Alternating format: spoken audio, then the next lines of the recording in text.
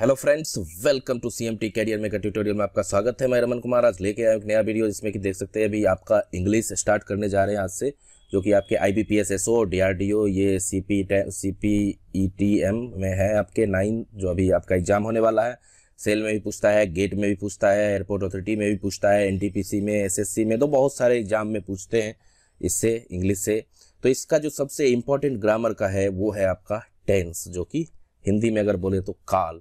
और ये हम स्टार्ट करने वाले हैं। पहले तीन पार्ट में ये कंप्लीट होगा आपका प्रजेंट ये आपके प्रजेंट टेंस।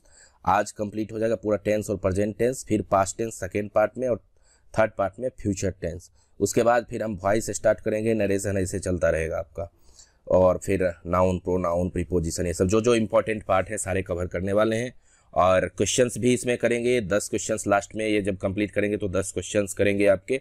तो उसे समझ में आएगा आप लोगों को। सो so, जिन लोगों ने अभी तक चैनल को सब्सक्राइब नहीं किया है वो चैनल को सब्सक्राइब कर ले बेल आइकन को प्रेस कर ले अच्छा लगे तो लाइक करे शेयर करे सो स्टार्ट करते हैं आज का सेशन सो so, सबसे पहले टेंस देख लेते हैं जो कि काल काल जिसको कि समय भी बोलते हैं। तो इसमें सिंपली जो डिफिनेशन है कि टेंस आपका defined as the form of verb which indicates the time and the state of action और इवेंट मेनली आपका स्टेट ऑफ़ एक्शन और इवेंट सो सिंपली काल मतलब समय हो गया आपका जो कि जैसे आपके कि अभी क्या हो रहा है, पहले क्या हुआ था और आगे क्या होगा। तो यही आपका समय ही है तो सबसे इम्पोर्टेंट समय ही होता है। तो इसमें आपका क्या होता है कि जैसे प्रजेंट टेंस की बात करें तो यानी कि वर्तमान में अभी हम लोग जो कर रहे हैं, वो आपका प्रजेंट टेंस हो गया। पास्ट टेंस हो गया कि पहले, आज से पहले हमने जो किया था, वो आपका पास्ट टेंस हो गया। यानी कि भूतकाल प्रजेंट टेंस का होता है वर्तमान काल। और फ्यूचर यानी कि हम फ्यूचर में आगे, हम कल, यानी कल और उससे, उसके बाद, दो साल बाद, चार साल बाद, बीस साल बाद हम लोग जो करेंगे तो वो हो गया आपका फ्यूचर टेंस यानी कि भविष्य काल तो इसमें टेंस के आपके तीन पार्ट हो गए present tense past tense future tense उसके बाद आपका आता है प्रेजेंट टेंस सबके चार, जितने भी तीन टेंस हैं, उसके चार फिर से टाइप्स हैं। सिंपल प्रेजेंट जिसको प्रेजेंट इंडिफिनिट भी बोलते हैं फिर प्रजेंट कंटिन्यूस जिसको कि आपको प्रजेंट इम्परफेक्ट भी बोलते हैं, फिर प्रजेंट फिर आपके प्रजेंट परफेक्ट फिर आपके प्रजेंट परफेक्ट कंटिन्यूस वैसे ही simple past past indefinite past continuous या फिर पास्ट इम्परफेक्ट बोल सकते हैं। Past perfect past perfect continuous वैसे ही simple future means future indefinite future continuous that means कि future imperfect future perfect future perfect continuous तो start करते हैं, सबसे पहले हम present tense. So present tense जिसको कि हिंदी में वर्तमान काल बोलते हैं तो इसमें है, a tense expressing an action that is currently going on और हैबिचुअली परफॉर्म्ड और ए स्टेट दैट करेंटली और जनरली एग्जिस्ट। यानी कि आपके वर्तमान में जो भी हम कर रहे हैं, जो भी कर चुके हैं वर्तमान में, वो आपका वर्तमान काल होता है। प्रेजेंट टेंस होता है। इसमें सिंपली क्या क्या होता है? जैसे कि जो हम हैबिट की बात करें हैबिचुअली हैबिट जैसे हो गया प्रैक्टिस हो गया रिपीटेड एक्शन हो गया परमानेंट एक्टिविटी हो गया जनरल ट्रूथ हो गया, ये सारे आपके प्रेजेंट इंडिफिनिट में आते हैं। और जैसे कोई आइडिया आप एक्सप्रेस कर रहे हैं एडवर्ब से, जैसे usually never occasionally sometimes normally generally always frequently rarely तो ये सारे आपके इसमें आ जाएँगे। अब इसमें देख लेते हैं प्रजेंट इन डिफिनिट टेंस की बात करें तो प्रजेंट इन डिफिनिट में अगर हिंदी में बोलें कि जैसे कि आ, मैं जाता हूँ मैं जाता हूँ दैट मीन्स कि आई गो तो इसमें क्या होता है कि जो आपका सब्जेक्ट होता है सब्जेक्ट यहाँ पे क्या है जैसे यहाँ पे आई वर्क है यानी कि मैं करता हूँ काम करता हूँ यहाँ पे है आई आई क्या हो गया यहाँ पे? सब्जेक्ट हो गया और वर्क क्या हो गया आपका? ये आपका वर्ब हो गया इसको वर्ब का फ़र्स्ट रूप बोलते हैं भी वन वैसे ही इसका हिंदी में यानी कि मैं काम करता हूँ, मैं काम करता हूँ आई वर्क चाहे जैसे आई लव मैं प्यार करता हूँ आई लव चाहे मैं जाता हूँ आई गो तो वैसे ही फिर नेक्स्ट देख लेते हैं present continuous tense present continuous जिसको कि प्रजेंट इम्परफेक्ट टेंस भी बोलते हैं। तो इसमें क्या है कि हिंदी में अगर बात करें तो इसका होता है जैसे मैं जा रहा हूँ मैं खा रहा हूँ मैं वर्क कर रहा हूँ मैं मतलब मैं काम कर रहा हूँ मैं प्यार कर रहा हूँ तो दैट मीन्स कि I am going I am working I am loving etcetera इसमें हो सकते हैं। सो so, इसमें समझे मीन्स कि जा रहा हूँ खा रहा हूँ तो इसमें ऐसा रहेगा। और प्रजेंट इंडिफिनिट की बात करें तो उसमें जाता हूँ खाता हूँ प्यार करता हूँ तो ऐसे चीज़ें उसमें रहेंगे। नेक्स्ट बात कर लेते हैं प्रजेंट परफेक्ट टेंस की। तो प्रजेंट परफेक्ट टेंस में आपका कैसा रहेगा कि मैं काम कर चुका हूँ आई हैव वर्कड मैं खा चुका हूँ. आई हैव एटेन मैं प्यार कर चुका हूँ. तो ऐसे ऐसे चीज़ें उसमें आपको चुका हूँ चुके हैं ऐसे रहेंगे. तो वो सारे आपके प्रजेंट परफेक्ट टेंस होते हैं. प्रजेंट परफेक्ट कंटिन्यूस की बात करें तो उसमें आपका होगा कि जैसे कि आ, मैं करता रहा हूँ मैं खाता रहा हूँ तो ऐसे चीज़ें रहेंगे. जैसे I have been working I have been loving I have been going I have been coming तो ऐसे चीज़ें आपके प्रजेंट परफेक्ट कंटिन्यूस में होंगे। तो यहाँ से प्रजेंट डिफिनिट की बात कर लेते हैं। तो पहले देखिए जैसे कि डू डच यूज़ होगा। तो अब इसमें प्रजेंट कंटिन्यूस में एम इच आर यूज़ होगा। यानी कि ये सारे ये सारे क्या है? हेल्पिंग वर्ब हैं। जिसको कि ऑक्जिलरी वर्ब भी बोलते हैं। हिंदी में बोले तो सहायक क्रिया बोलते हैं उसको। और जो आपके जैसे वर्क वर्क हो गया लव हो गया आ, आपके ईट हो गया चाहे ये सारे जितने भी हैं ये सारे आपके होते हैं। मेन भर्व जिसको कि प्रिंसिपल भर्व बोलते हैं, मुख्य क्रिया बोलते हैं उसको। तो हम लोग भर्व एट भर्व ये सारे भी सेपरेटली सेपरेटली पढ़ेंगे। अभी पहले हमने ट्रेन से स्टार्ट किया है। तो इसमें ये सारे आपके क्या है? हेल्पिंग वर्ब है। प्रजेंट परफेक्ट में क्या लगेगा? हैज़ और हैव लगेगा। तो उसमें अभी रूल बताऊँगा कि कब हैज़ लगता है, कब हैव लगता है। तो ये भी ऑक्जिलियरी वर्ब है। प्रजेंट परफेक्ट कंटिन्यूस में हैज़ हैव लगेगा प्लस बीन लगेगा। यानी कि हैज़ बीन हैव बीन ये लगेंगे। सो so नेक्स्ट देखते हैं। नेक्स्ट आप देख सकते हैं प्रेजेंट इन डिफिनिट टेंस की बात करें सेपरेटली तो ये क्या है कि it is use to denote scientific facts universal truth and work done on daily basis तो डेली बेसिस पे जैसे साइंटिफिक फैक्ट्स हैं यूनिवर्सल ट्रूथ है। यूनिवर्सल ट्रूथ है कि आपके sun rises in the east तो यानी कि सन जो है, जो सूर्य है, पूरब में उगता है। ये यूनिवर्सल ट्रूथ है। पृथ्वी गोल है अर्थ इज़ राउंड तो ये आपके क्या है? आपके यूनिवर्सल ट्रूथ है। तो ऐसी चीज़ें आपके प्रेजेंट डिफिनिट में होते हैं। तो रूल्स आप देख रहे हैं एसर्टिव रूल्स हो गया, जैसे सेंटेंस के टाइप्स होते हैं assertive negative interrogative interrogative negative तो ये सारे तो इसके अलग अलग रूल हैं। जैसा आपका सेंटेंस होगा, वाक्य होगा, उसके अकॉर्डिंग आपको रूल लगाना है। जैसे आपके तो ये अगर एसर्टिव है तो सब्जेक्ट है प्लस भी वन भी वन यानी कि ये जो आपका मुख्य क्रिया, जिसकी बात में किया प्रिंसिपल वर्ब की तो उसका फ़र्स्ट रूप है। तो वी वन प्लस क्या है? S E S S E S तब लगेगा जब आपके जैसे कि फ़र्स्ट पर्सन आपके है। फ़र्स्ट पर्सन में क्या होता है? फ़र्स्ट पर्सन, ये जैसे आपके फ़र्स्ट पर्सन है और यहाँ आपके जैसे कि सिंगुलर और ये आपके पुलरल, ये नंबर है, पुलरल नंबर। तो फ़र्स्ट पर्सन में क्या होता है? आपके अगर फ़र्स्ट पर्सन की बात करें तो सिंगुलर में आई होता है, पुलरल में आपके वी होता है। सेकेंड पर्सन की बात करें, सेकेंड पर्सन की बात करें तो यू होता है, यहाँ भी आपके यू होता है। सिंगुलर में भी यू, प्लूरल में भी यू होता है। थर्ड पर्सन की बात करें तो इसमें आपके जैसे ही, सी, इट, और इसमें होता है, दे, कोई भी ये नाम हो गया, प्लेस हो गया तो ये सारे आपके आते हैं थर्ड पर्सन के सिंगुलर नंबर में। तो और पुलर नंबर में आपके दे आते हैं। तो जैसे भी वन एस और एस लगेगा तब, जब आपके थर्ड पर्सन का सिंगुलर नंबर होगा तो उसके अंत में एस या ई एस लगेगा और उसके बाद ऑब्जेक्ट लगेगा। तो इसका एक मतलब अभी मॉडर्न जो आपके ग्रामर है तो उसमें ऐसे भी फोर भी फाइव करके बनाया गया है। तो उसके अकॉर्डिंग जैसे एम पल जैसे मैं बात करूँगा कुछ देर में प्रजेंट कंटिन्यूस का तो उसमें आई एन जी लगाते हैं। तो वैसे ही और तो और ये एस ई एस के लिए दो और फॉर्म बना दिए भी फोर और भी फाइव तो उतना आपको ध्यान में नहीं रखना, सिर्फ़ तीन फॉर्म याद रखिए, उससे आपके सारे काम हो जाएँगे। तो एस और ई e एस ये आप समझ लीजिए कि थर्ड पर्सन के सिंगुलर नंबर के अंत में एस या ई एस लगता है। उसके बाद आपका ऑब्जेक्ट लगता है। जैसे कि आप देख सकते हैं यहाँ पे सी राइट से लेटर। सी क्या हो गया? सी है थर्ड पर्सन के सिंगुलर नंबर हो गया ये।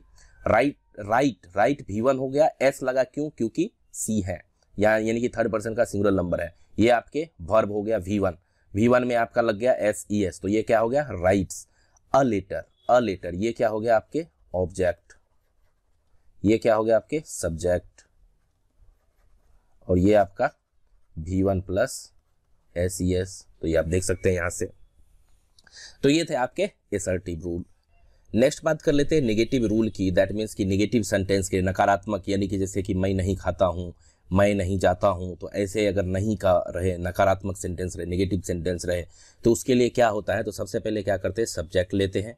फिर आपका डू या फिर डज नोट डू नोट या डज नोट तो ये तब लगता है डू का कि जब आपके थर्ड फ़र्स्ट पर्सन हो सेकेंड पर्सन हो, कि दोनों नंबर सिंगुलर पुलरल दोनों, और थर्ड पर्सन के पुलरल नंबर में आपके डू नोट लगता है, और आपके थर्ड पर्सन के सिंगुलर नंबर में डज नॉट लगता है। उसके बाद आपका भी वन नॉर्मल जो भर्ब है, फिर आपका ऑब्जेक्ट फिर आपका ऑब्जेक्ट तो जैसे आप यहाँ पे देख सकते हैं कि she does not write a letter यानी कि वह पत्र नहीं लिखती है। यहाँ पे सी क्या है आपके? ये है सब्जेक्ट डज नॉट तो डज नॉट है, क्योंकि डज नॉट इसलिए है कि सी क्या है? थर्ड पर्सन के सिंगुलर नंबर में है।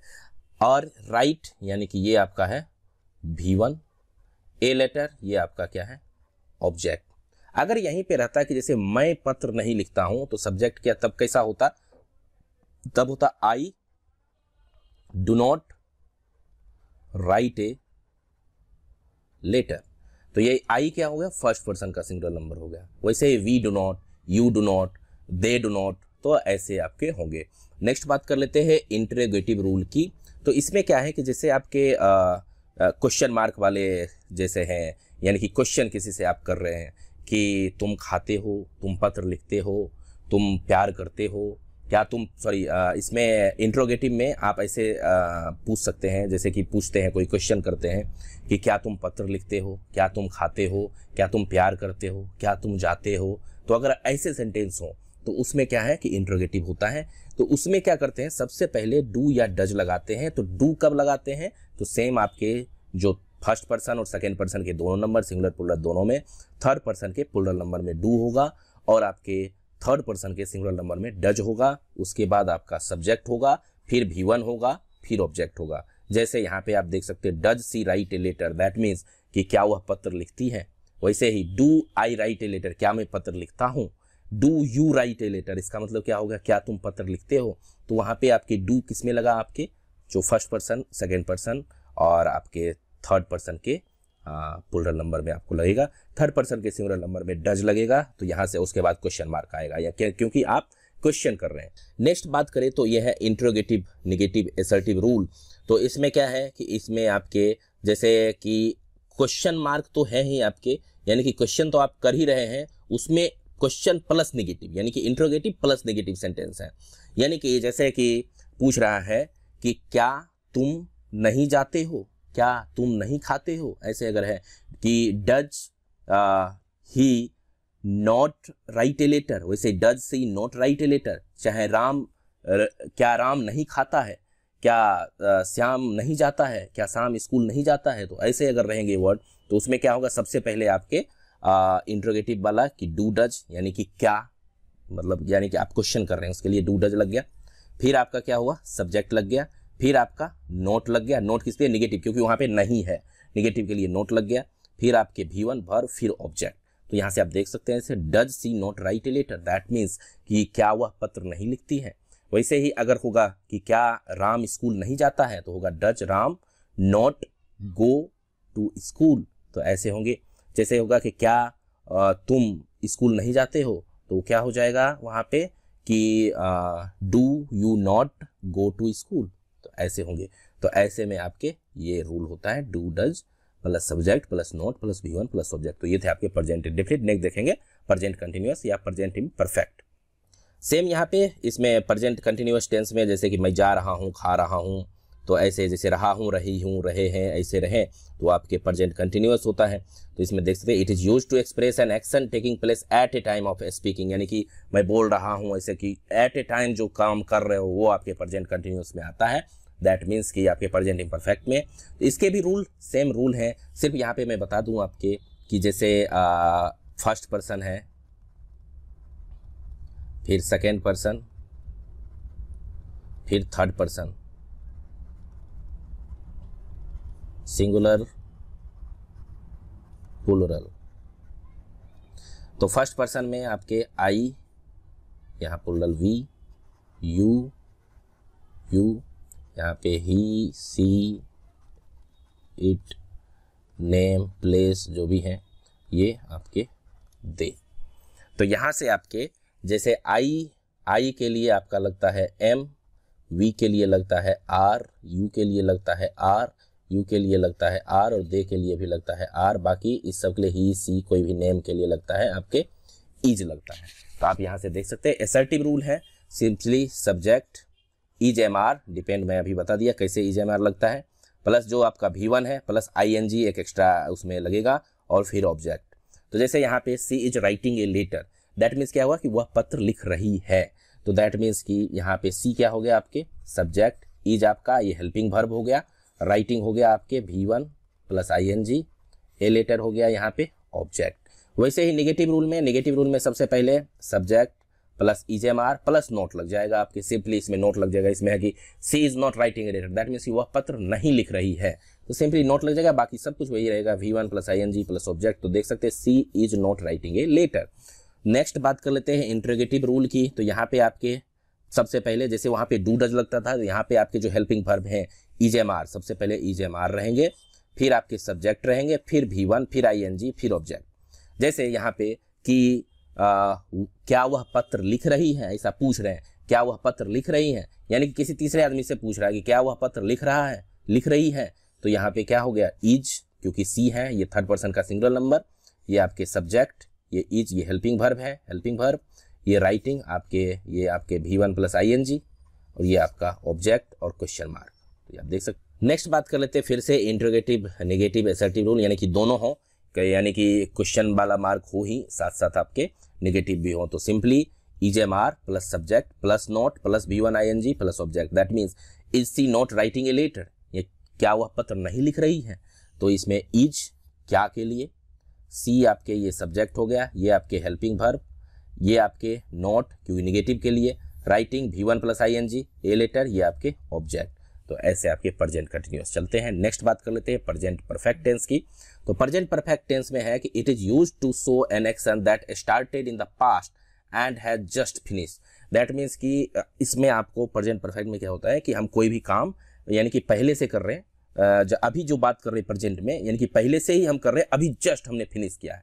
वो आपका प्रजेंट परफेक्ट जैसे कि मैं खा चुका हूँ, यानी कि अभी आपसे कोई पूछ रहा है कि तुमने क्या खाया है तो यस मैं मैं खा चुका हूँ, यानी कि मैं अभी अभी जस्ट खाना फिनिश किया हूँ। मैं पढ़ चुका हूँ, मैं लेटर लिख चुका हूँ, मैं प्यार कर चुका हूँ तो ऐसे ऐसे चीज़ें आपके प्रजेंट परफेक्ट टेंस में आता है। तो इसमें देख लेते हैं इसका रूल क्या है। तो इसमें सेम जो आपके हैज़ हैव के लिए है तो सेम जो पर्सन है आपके फ़र्स्ट पर्सन सेकेंड पर्सन और आपके थर्ड पर्सन तो ये सिंगुलर ये आपके प्लुरल तो आई वी यू यहाँ पे भी यू ये आपके ही सी ऐसे नेम प्लेस जो भी है दे तो अब क्या होता है, जो आपके फ़र्स्ट पर्सन यानी कि आई के साथ आपका हैव लगेगा वी के साथ भी हैव लगेगा यू के साथ भी हैव लगेगा यू के साथ हैव दे के साथ हैव सिर्फ़ आपके थर्ड पर्सन के जो सिंगुलर नंबर वाले हैं, उनके साथ लगेगा आपका हैज़ और इसमें आपका क्या लगता है? जैसे एसर्टिव रूल है तो यहाँ पे सब्जेक्ट प्लस हैज़ या हैव डिपेंड करता है। अगर आपके थर्ड पर्सन का सिंगुलर नंबर है तो हैज़ लगेगा, बाकी के लिए हैव लगेगा। फिर भी थ्री भी का मतलब भर्व का आपका तीसरा रूप और उसके बाद ऑब्जेक्ट तो यहाँ से जैसे सी हैज़ रिटेन लेटर इसका मतलब हुआ। तो जैसे she has written letter that means इसका मतलब क्या हुआ? कि वह पत्र लिख चुकी है। जैसे she has eaten a mango means वह आम खा चुकी है। जैसे कि मैं मैं जा चुका हूँ, ऐसे आई हैव गॉन जैसे मैं स्कूल जा चुका हूँ तो क्या हो जाएगा? I have gone to school तो ऐसे तो यहाँ पे आपका सी क्या हो गया? सब्जेक्ट हो गया, हैज़ आपका ये हेल्पिंग भर्ब हो गया। हेल्पिंग भर्ब चाहे ऑक्सिलियरी भर्ब बोल सकते हैं। रिटेन आपका भी थ्री और लेटर ये आपका हो गया ऑब्जेक्ट सेम नेगेटिव रूल के लिए क्या होगा? पहले सब्जेक्ट फिर हैज़ है, फिर नोट एक एक्स्ट्रा में लग जाएगा। क्यों? क्योंकि यहाँ का मतलब जैसे she has not written a letter that means कि वह पत्र नहीं लिख चुकी है। तो इसके लिए नोट लग गया, फिर भी थ्री प्लस ऑब्जेक्ट एक्स्ट्रा में सिर्फ़ नोट लगेगा तो she has not written a letter that means कि वह पत्र नहीं लिख चुकी है। नेक्स्ट बात कर लेते हैं इंट्रोगेटिव रूल की। तो यहाँ पे पहले क्या आता है? भर्ब आता है हेल्पिंग भर्ब ऑक्जिलरी भर्ब तो हैज़ है, पहले आएगा, फिर सब्जेक्ट फिर भी थ्री फिर ऑब्जेक्ट तो यहाँ से जैसे has she written a letter तो क्वेश्चन वाला जो होता है हम पूछते हैं किसी से कुछ तो उसमें आपका इंट्रोगेटिव होता है। तो इसमें जैसे कि उस इसका मतलब ये हुआ कि क्या वह पत्र लिख चुकी है? क्या इसके लिए हैज़ लग गया? सी रिटेन ए लेटर सो क्या वह पत्र लिख चुकी है? क्या वह स्कूल जा चुकी है? क्या वह स्कूल जा चुका है? So has he gone to school तो ऐसे आप uh, इसमें होगा। सो so, यहाँ पे हैज़ आपका देख ही सकते हैं। हैज़ हैव ये सब्जेक्ट ये आपके भी थ्री ये आपके ऑब्जेक्ट तो सिंपल है। नेक्स्ट बात कर लेते हैं इंट्रोगेटिव निगेटिव एसर्टिव यानी कि अब आपका क्वेश्चन वाला पार्ट है ही साथ साथ आपके निगेटिव भी हैं। तो सबसे पहले आपका हैज़ है, फिर सब्जेक्ट फिर आपके नोट फिर भी थ्री फिर ऑब्जेक्ट नोट है आपके निगेटिव के लिए, ये है आपके क्वेश्चन वाला क्वेश्चन मार्क के लिए। हैज़ है तो यहाँ से है कि has she not return a letter that means कि क्या वह पत्र नहीं लिख चुकी है। तो simply has she not return a letter तो सिंपल प्रेजेंट परफेक्ट टेंस हो गया. नेक्स्ट बात कर लेते हैं लास्ट पार्ट इसका प्रेजेंट टेंस का प्रेजेंट परफेक्ट कंटिन्यूअस तो नेक्स्ट बात कर लेते हैं यहाँ पे आपके प्रेजेंट परफेक्ट कंटिन्यूअस जिसमें इसमें क्या है this tense shows the action which started in the past and is still continuing that means कि आपका जो टेंस है यानी कि जो आपका सेंटेंस है उससे ये आपका पता लगेगा कि ये आपके पास्ट में यानी कि पहले स्टार्ट हो चुका और अभी तक चल ही रहा है। जैसे कि आ, मैं खाता रहा हूँ मैं जाता रहा हूँ मैं करता रहा हूँ मैं पढ़ता रहा हूँ तो ऐसे तो उसमें समय का भी रहेगा। जैसे कि मैं दो घंटे से पढ़ता रहा हूँ अब वो दो घंटे कब से बोल रहा है वो तो पता नहीं है। जैसे मैं अब जैसे टाइम का एग्जैक्ट आपके टाइम की बात करेगा कि आ, मैं नाइनटीन एटी से मैं यहाँ पे रह रहा हूँ। तो 1980 हो गया तो इसमें जैसे इसमें दो चीज़ें होते हैं एक सिंस का यूज़ होता है एक्स्ट्रा में और एक फॉर का यूज़ होता है। जैसे आपका आएगा कि मैं 1980 से यहाँ पे रह रहा हूँ। तो 1980 जब लगेगा, यानी कि ये निश्चित चीज़ है कि 1980 हो चुका है और 1980 से रह रहा है तो यहाँ पे आपको लगेगा सिंस का यूज़ होगा। और जैसे होगा कि मैं दो घंटे से पढ़ रहा हूँ तो वहाँ पे फॉर लगेगा फॉर टू आवर्स तो ये आप ध्यान में रखिएगा।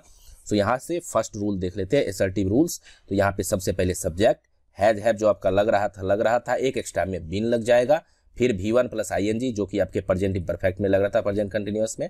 और फिर प्लस ऑब्जेक्ट तो यहाँ पे है she has been writing a letter that means कि वह पत्र लिखती रही है वह पत्र लिखती रही है इसका मतलब ये हुआ कि यानी कि पहले से ही लिख रही है अभी भी लिख ही रही है तो जैसे इसमें होगा कि मैं जाता रहा हूँ मैं जाता रहा हूँ तो उसमें क्या हो जाएगा आई हैव बीन गोइंग तो मैं कहीं पे कोई जगह रहेगा कि मैं इस जगह पे जाता रहा हूँ जैसे कि मैं स्कूल जाता रहा हूँ तो वहाँ पे हो जाएगा I have been going to school तो इसी में एक चीज़ और होता है तो जैसे अगर फॉर की बात करूँ और सिंस की बात करूँ तो यहाँ से रहेगा जैसे कि आपका she has been writing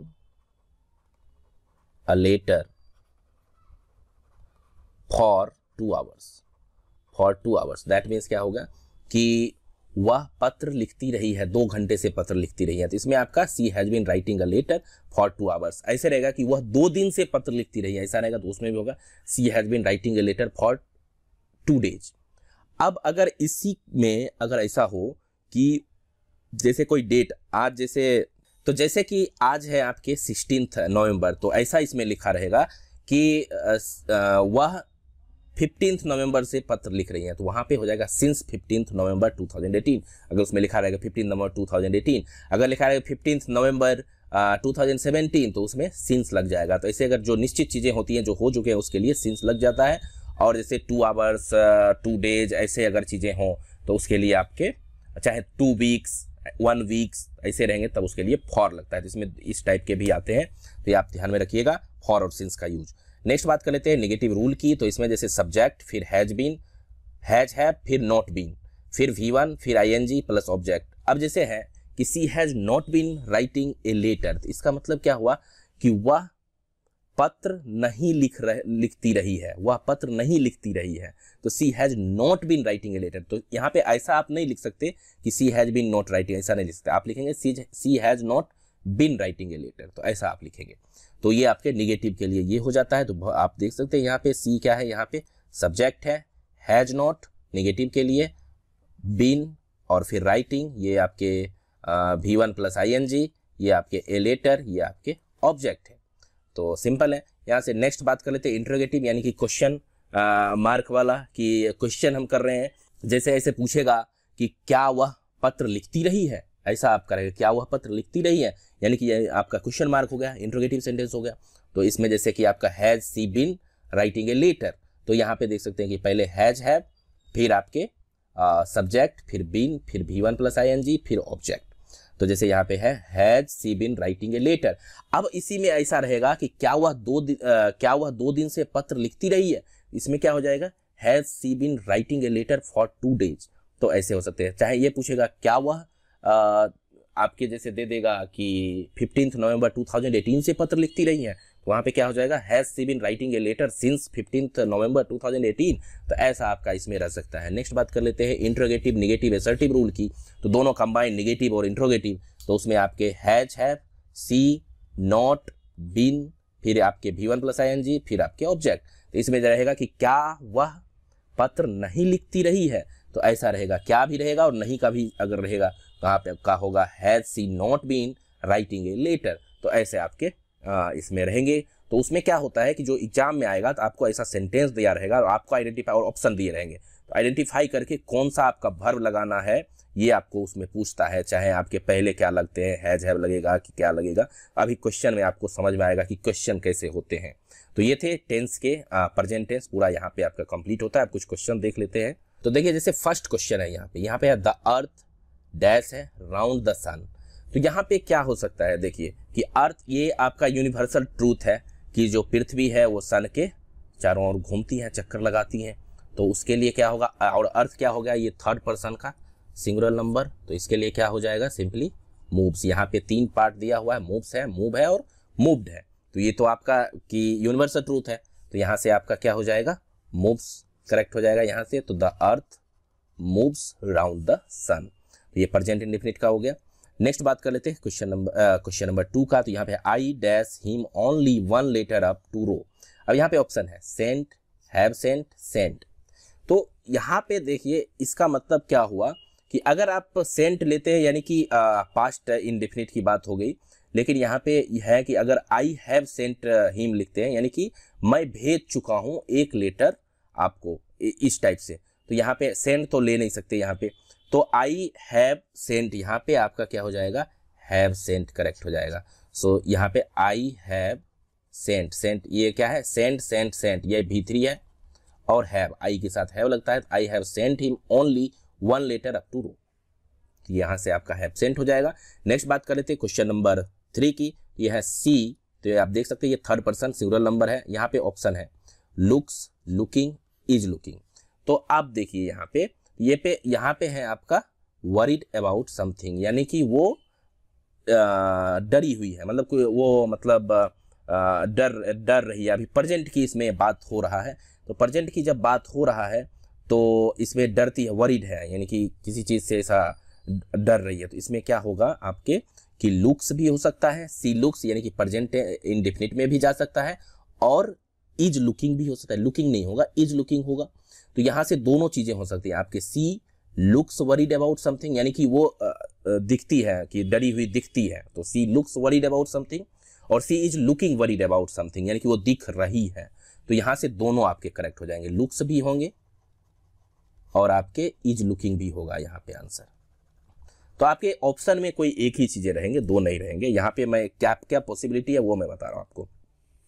next बात कर लेते हैं। यहाँ पे क्वेश्चन है ही और यहाँ पे a mail in this town तो a meal in this town तो यहाँ पे आप देख सकते हैं कि यहाँ पे ऑप्शन है हैव हैज़ इज़ हैविंग तो इज़ हैविंग का तो सवाल ही नहीं उठता इज़ हैविंग होता नहीं है। तो यहाँ से आपके तो ये देख सकते हैं ए मिल इन दिस टाउन तो यहाँ से ही है, ये थर्ड पर्सन का सिंगुलर नंबर है तो इसके साथ क्या लगेगा? हैव तो लग ही नहीं सकता।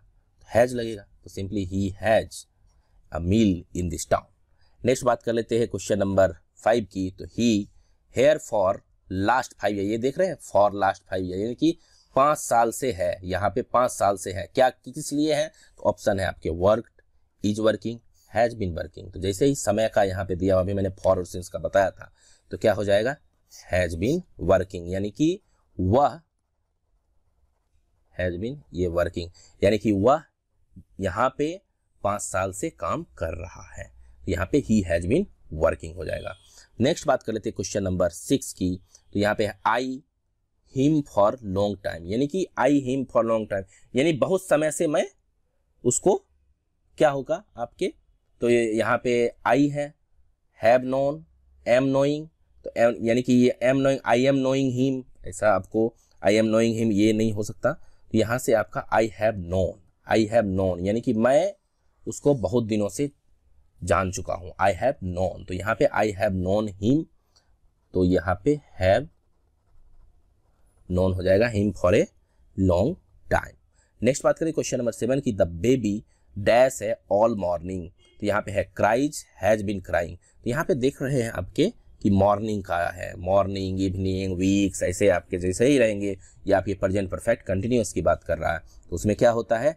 बेबी है आपके थर्ड पर्सन का सिंगुलर नंबर तो सिंपली हैज़ बिन क्राइंग तो यहाँ पे हैज़ बिन क्राइंग ऑप्शन हो जाएगा तो ये हैज़ बिन क्राइंग यहाँ पे करेक्ट हो जाएगा. The baby has been crying all morning यानी कि सुबह से ही वो रो रही है, बच्चा जो भी है, वो रो रहा है.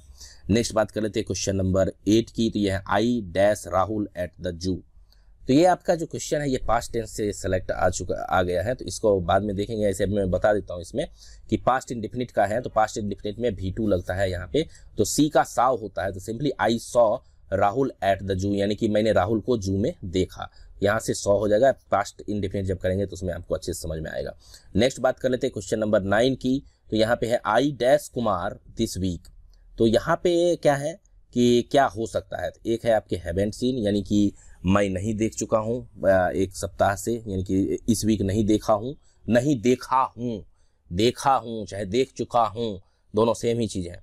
Didn't see am not seeing नहीं देख रहा हूँ तो ये तो नहीं होगा एम नॉट सीइंग नहीं हो सकता। यहाँ पे हैवेंट सीन भी हो जाएगा डिडेंट सी भी हो सकता है। यानी कि मैंने नहीं देखा है तो आई डिडेंट सी और मैं नहीं देखा हूँ तो उसमें हैवेंट सीन भी आप यूज़ कर सकते हैं। तो यहाँ से आपके हो जाएगा। डिडेंट सी इसमें की यानी कि आपका डिडेंट सी भी यूज़ करते हैं, ये भी वन है डिडेंट पहले से यहाँ पे लग चुका है। तो यहाँ पे हैवेंट सीन आपके अभी प्रेजेंट की बात कर रहे हैं। हैवेंट सी हैवेंट सीन यहाँ पे हो जाएगा और डिडेंट सी भी होगा। ये आप देखेंगे इसमें पास्ट टेंस में। पास्ट टेंस जब पढ़ेंगे तब ये दोनों कंबाइंड है आपके। हैवेंट सीन भी हो सकता है डिडेंट सी भी आपके हो सकता है यहाँ से।